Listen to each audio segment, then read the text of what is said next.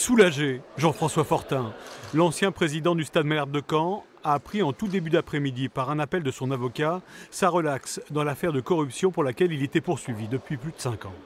C'est un homme euh, pour qui euh, la notion de probité et d'honneur est particulièrement important. Il s'est attaché à ça pendant, euh, pendant 50 ans de vie professionnelle.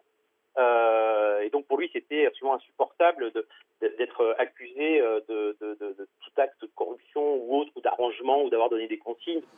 La Cour d'appel de Paris n'a donc pas retenu l'hypothèse d'un match truqué entre les clubs de Caen et Nîmes lors de l'avant-dernière rencontre du championnat de Ligue 2 en mai 2014. Ce soir-là, les deux formations s'étaient quittées sur un score de parité, un but partout, un match nul qui a arrangé les deux clubs au classement. Pour les juges, Jean-François Fortin n'a à aucun moment demandé à son équipe de lever le pied en échange de cadeaux, comme la livraison de plusieurs caisses de costières de Nîmes à la porte du vestiaire canet. De très nombreux clubs amènent des produits du terroir. Ça peut être, des rillettes quand vous êtes Le Mans, ça peut être du chablis quand vous êtes à Auxerre. Euh, là, c'était euh, costière de Nîmes parce que c'est le vin local. Euh, c'est un usage comme, quand vous allez chez un ami, vous venez avec un bouquet de fleurs ou une bouteille de vin.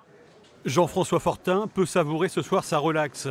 Il échappe aux 15 mois de prison et aux 20 000 euros d'amende requis par le procureur. Et puis, il pourra continuer à exercer des fonctions dans le football après avoir quitté en mai 2018 et après 16 ans de mandat son poste de président du Stade Malherbe de Caen, non sans une certaine émotion.